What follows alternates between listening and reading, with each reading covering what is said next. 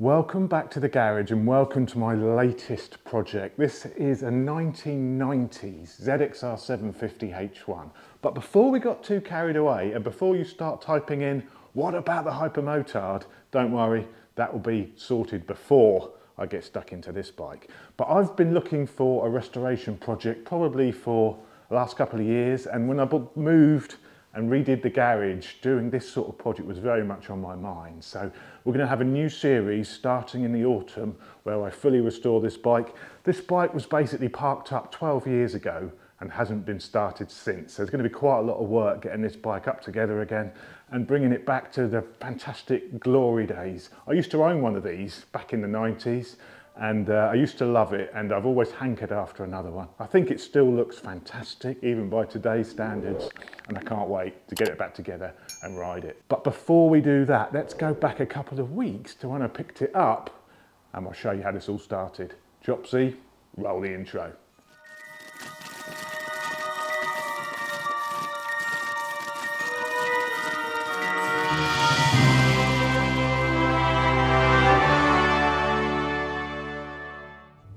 Lead the way, Bagpuss. Lead the way. right, just think we're going to go left in here. So here we are. The new the new project. 1990 ZXR 750 H1. Like I used to own when I was in my teens. So this is going to be a full restoration, really, a nut and bolt restoration. The bike hasn't, was it 12 years, Peter? This is Peter. 12 years, Peter, since it's been run? 2013 was when it was last on the road and basically it was laid up, parked up and not started since. Yeah, it's going to be an interesting project this one. Um, it's probably going to be completely taken apart, everything off and rebuilt. Not the original clocks. So we worked out, I think it's got about 25,000 miles. We worked out from the old MOTs and stuff, about 25,000 miles on it. Um, 33 years old now, would you believe? 33 years old. Right, got it.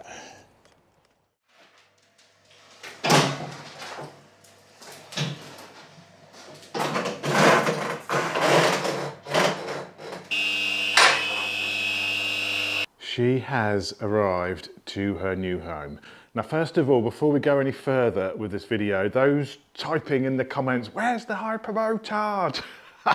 Don't worry, the Hypermotard will be put back together before I start this bike. Before I get into this bike in anger, the Hypermotard is going to go back together. I haven't got room for two bikes in bits. So don't worry, the Hypermotard will be happening first.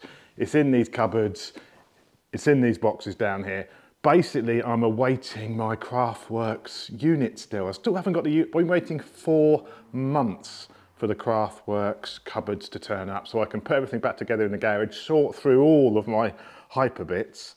I've got loads in the shed as well, but I can't do that until the bloody cupboards turn up from Craftworks and they've been four months. I'm hoping they're gonna come next week, but it's killing me. So we can't start this until the Hyper's back together. So those getting excited for this project, you're gonna have to hold off. It's probably not gonna get going until um, the autumn, probably until the autumn. What I may do to start with, because this hasn't been started in 12 years, is see if it will run. I can't put it away and forget about it without knowing if it's gonna run or not. So I'm gonna take the tank off, take the carbs off, clean the carbs, change all the fluids, um, see if it will start.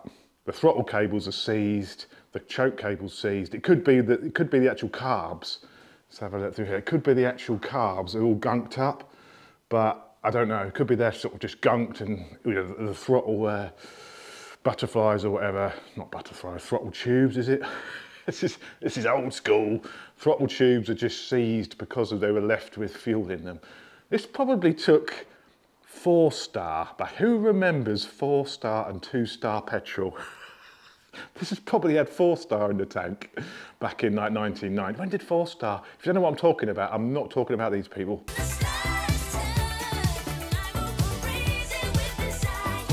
Four star petrol, hands up if you remember it. I was probably only 16 when four star petrol disappeared, but yeah, that was before. At least you haven't got to worry about any ethanol in the fuel tank on this one. The reason I bought this bike is because the bodywork's very good. The tank is also pretty much immaculate. I've looked inside the filler, doesn't seem to be any rust inside. Obviously the fuel's all gone and it stinks in there, but I need to get a camera inside and inspect the lower parts of the fuel tank, see what the situation is. But all of the bodywork elements are pretty decent on this bike. It needs a lot of work. The, the swinging arm's going to be stripped down and fully resprayed by Adam at A1 powder coating. So it's going to be a full frame, full swinging arm, respray, obviously new chain. Everything on this bike is going to come off, be polished, plated or painted and then put back together. So it's a nut and bolt restoration is what I'm doing here. And this is going to go back in original condition. I'm not interested in modifying this. This is going to be a back to standard condition. I'm even going to be replacing you know, the standard indicators and putting the standard in indicators back on. It's going to be very a, a sensitive restoration. I mean, I did think about putting on later upside down forks and stuff, but no, it, it's not going to be about that. This is going to go back to 100% original condition. So uh, that's the plan. It's a lot of work here, a lot of work. And I must say a massive thank you to Peter and his friend who contacted me and said, because I did a video probably last year sometime when I went through my bike history and I used to own one of these when I was probably 22, something like that. I'll pop a picture on the screen. This is me on my bike. So I've always said if I fancy doing a restoration and why not do it on a bike I used to own, I used to love. So this is sort of a personal sort of journey for me really to revisit my, my childhood to a degree and get myself back on one of these. I think these still look fantastic. To, these bikes haven't aged. It still looks fantastic today. It looked brilliant in the 80s. It looks just as good these days. And you really don't see many of these on the road anymore.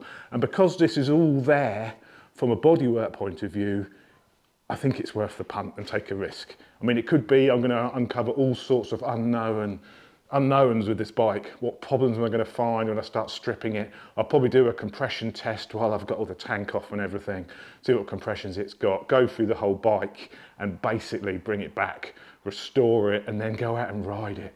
Oh, I mean, these were never that fast back in the day. These are yeah, these are sort of 110 horsepower. I think 110 horsepower weighs 220 kilos. So, you know, it's no lightweight and they were never that fast back in the day. So, you know, it's not going to be, I don't know, maybe it will be exciting. I know you have to rev them quite a lot. These were built for World Superbike. So these are really built for World Superbike Championship. You know, Honda had the RC30 and, and Yamaha had the OW01, which were specialist bikes. This was built for the masses. And uh, yeah, I, I can't wait to get cracking on this. But don't worry, the Hypermotard will be going back together first. I'll be going up, getting the engine put back together back at Nelly's and cracking on with that. The reason it hasn't happened, because these bloody cupboards haven't turned up. I'm hoping they're going to come next week. I've got tracking information now, but they've been sat in France for two and a half weeks without moving, stuck in customs. So it's just been an absolute joke from start to finish. If you like the sound of what's going to happen to this bike, give me a subscribe below. But don't be nagging me saying, where is it? You know, it's not going to be I may do a video where we try and get it running fairly soon, um, but it's not going to be, we're not going to get cracking properly until the, uh, until the autumn probably. But there we go. As you can see, you know, up close, it's been stir stored in a, a damp garage. You know, there's, a, there's a lot of surface corrosion over everything. Now, if you have a look in here, subframe, all this is going to have to be repainted. It's still got the 09 tax disc on it. Micron exhaust, I don't know what's going on here. I need to sort of strip down and see what's happening. But you can see all the calipers are gonna need restoration, repainting, new seals, you know, everything is gonna need cleaning. Wheels, repowder coating, new bearings. Here's the frame, a fair few chips on the frame. So there's a lot of work here, but fundamentally, know, the bodywork is pretty decent. The tank's decent. These fairing panels are pretty decent, bear a tiny little wear marks on them. This front cowl is probably going to be repainted because it's got a bit of a crack down at this side. So re repaint the front cowl, put the original screen back on. We don't want no blue tinting going on. Suspension will need to be stripped, rebuilt. Discs, maybe how to save them, not sure. But just going through everything, I mean, look at it in there, look, it's minging. Everything cleaned, painted, polished, or plated. it's a hell of a lot of work here. It's a hell of a lot of work, but when this is done, these go for about six to seven thousand pound, all in all in good condition, all up together. So, you know, I got it for a really good price, and uh, it's going to be a fantastic project. So, if you like the sound of it, press the subscribe button below, and I'll see you soon for some more garage antics. I'll leave you with some close-up details of this machine, and I'll see you on the next video, guys. See you later.